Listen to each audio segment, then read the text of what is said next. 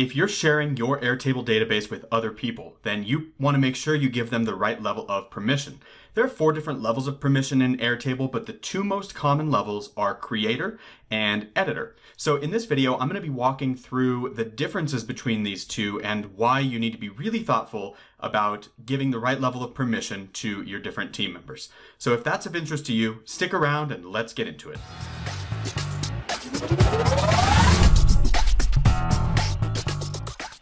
Hey, my name is Gareth Pronovost, and I'm the owner at Gap Consulting, where we help you to organize and automate your business and life.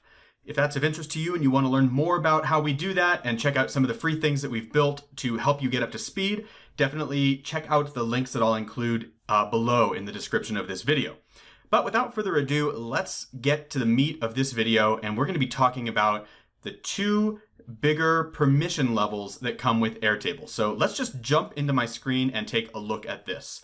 So this is just a database or base that I pulled off of the um, the Airtable uh, universe, right? So this is one of those free templates that you can download and get access to for your own manipulation and your own needs, right?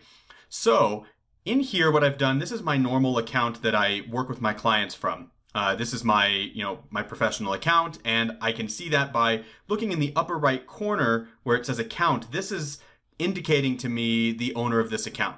So of course, if I click here, I can drill into my account, and there's a bunch of things at, you know, a new a new tab opens up, and there's a bunch of things here where I can update the way my name is shown, the email that I'm using, my password, you know, all my account stuff, right?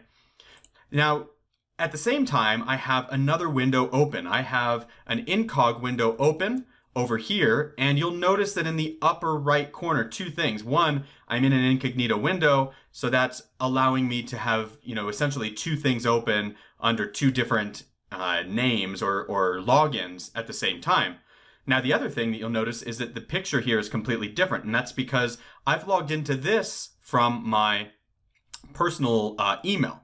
So let's flip back into Airtable really quickly. This is in my creator mode. When you go to share your database with somebody, you have two choices. You can either share the database, like just that base, or you can share the whole folder that the base is in. Now, if you share the whole folder, then really what's happening is you're giving every, you're giving access away to every single database inside of that folder of databases, which we call a workspace.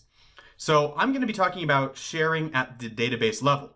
So if I were to click this inside of the database itself, I'm sharing the database and not the folder of databases, right? So in here, you'll notice that there are two collaborators, right?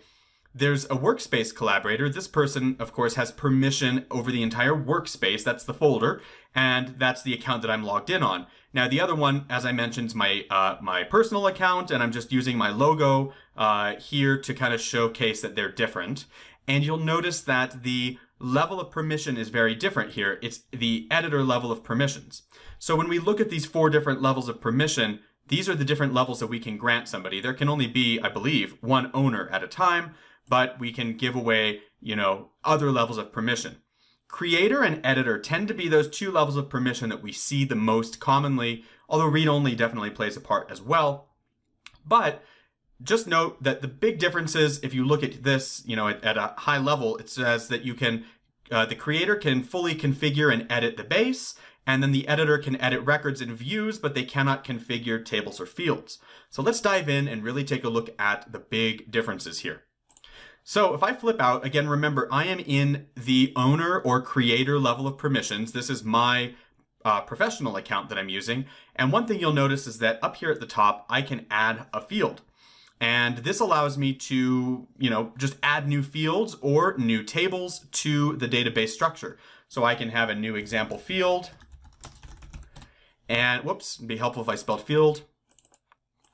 Uh, and once that's done and saved, you know, whatever I put in here or anyone else puts in here will be visible. But if I flip back into, again, now I've just flipped into my personal account, which has editor level privileges, you'll notice that I don't have the option to hit a plus over here and add new uh, fields. I can not even edit this field. So when I go to bring this drop down, you'll see that as an editor, I only have these five levels of permission, right? Flipping back into the other one, I have a bunch of different things that I can do here, right? I can customize the field, I can rename it. I mean, all of these things that I can do to change the way the database is structured. So what I like to think of this is, or as, is that this person essentially has admin level privileges. They can come in and they can change the underlying architecture. Remember, this is creator level privileges that I'm talking about. But if I'm using the editor level of privileges, all I can really do is arrange the way that I want to look at that data. Okay, so let's flip back into that uh, editor level. So again, I'm going to flip back into my uh, my personal account here, which this base has been shared with. This has editor level privileges, and there's not a whole lot, as I mentioned, that you can do here. But I can change the views uh, to my liking. So as an editor, not only can I come in and add example data, let's say I put in example data, uh, and I'll put in example two. Now again, I'm adding this in as an editor, and of course if I flip back into the other account, that is the, uh, the professional account, this is the person who has the creator level privileges. Of course, they instantly see the changes that were made, right? So as an editor, I can edit the data. I can make changes to the underlying data structure. I just can't edit the structure of the database. Now, the other thing I can do, let's flip back into the editor so back into the editor again. The other thing I can do is create new views. So let's say, as an editor, I wanted to make a Kanban view here. And let's see, I've stacked these by, let's go, let's go into the, the customizing here, or stacked. I've stacked them by angle here, which is one of the fields. Uh, and then I've added some customization. Maybe I want to bring in the setup or the scenes or the shot importance, these different things. Uh, I can do that. I can even add colors, whatever I can do to the view, so long as it doesn't change the underlying structure of the database. Again, the view is really just the way that we're looking at the data, and it doesn't impact the underlying structure or architecture. So I can make all those changes. I can rename this view, and I'll rename this, I'll rename it uh, renamed personal. And the reason I want to do this is, let's suppose that for me, my particular job as the editor inside of this database Let's say that I needed this particular view in order to perform my work function. Well, I wouldn't want other people coming in and perhaps making changes to that view, and this is where personal views comes into play. Now, personal views we can access by clicking on this little icon right here. You see that right now the view is visible and configurable configurable by collaborators. So if I click this, it's on the collaborative view. Now I only have the option to make a new collaborative view or to make this view a personal view. So if I were to create a personal view, what happens? Well, first and foremost, when I go to pull down this view now, it has this individual person icon next to it. And it is now a personal view under my account. Okay, what does that mean? Well, there's some really cool functionality with this, and it has to do with the fact that, again, as the person who created this personal view, I might not want to share my workflow with everybody, or maybe I want this view set up in just a way that I need to use it, and I don't want other people messing with that. So flipping back to the creator, let's take a look at what the creator sees now that the editor made this a personal view. So I'm going to flip back into my creator view here. This is my professional account. And when I look at the different views, you'll see that there's one over here that's kind of like grayed out a little bit and it says renamed personal. That is the name of the view that we gave it. And also you'll see that this icon here is the same icon as the account uh, picture for the uh, person who made this a personal view. Remember that I made this a personal view with my uh, account that has my logo as an icon. And so that's showing up right here to indicate to everybody else on the team that this is my personal view. And as you see here when I mouse over it, I get this little pop-up that says that this personal view belongs to Gareth Pronovost. That's the name associated with the account that I'm using. And so if I were to click here and say show everyone's personal views, it shows me right here that this view is owned by Gareth. And if I were to flip into here, I see this view. But you'll notice that I don't get the, I don't have the ability to make any changes to this view because this view, even though I'm the creator here, this view was created by another user and made personal. So a couple of things to note about this. Even though I'm a creator here, and this view was made personal by an editor, I can still see the view, but I cannot alter it. Now, you might think that that's a limitation. It's really not. All it means is that I can't mess up the workflow or the way that this person set up the view. What I can do, though, if I really like this view or I want to make some tweaks to it for my own needs, is I can duplicate the view.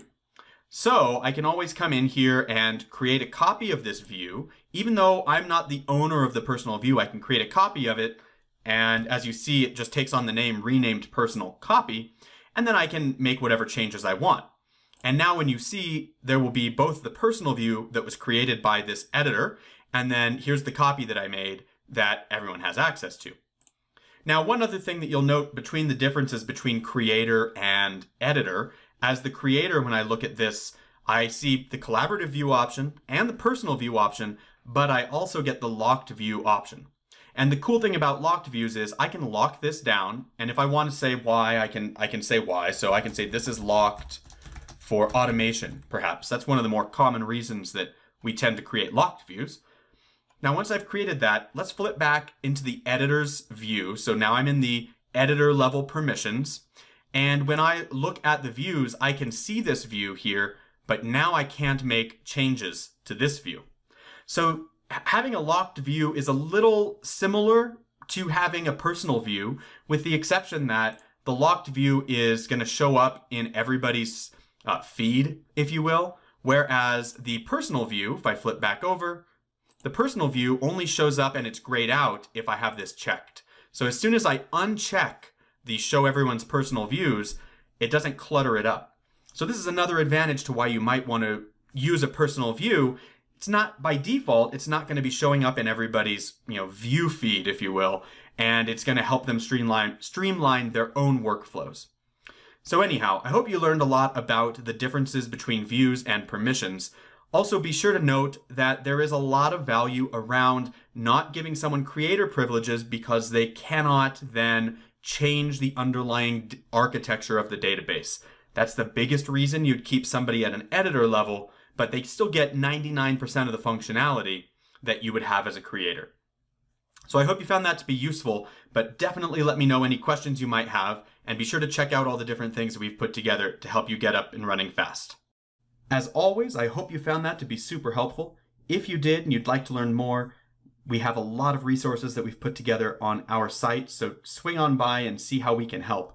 We have a blog that includes free content every week. We also built an Airtable free crash course that'll get you up to speed in under two weeks. And if you're looking for something more advanced, you can book some time to have a discussion with me. I will hop on a Zoom call with you and we can talk about what your needs are and how our company might be able to help. So if that's of interest, swing on by. Look forward to connecting with you soon.